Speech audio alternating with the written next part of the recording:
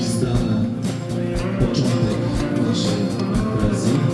Właśnie ze słynną, najsłynniejszą The Great Escape, czyli wielką ucieczką, ale przyznam też, że przypomnę, że, że ucieczka, e, która miała miejsce rok wcześniej, w 1943 roku, ucieczka...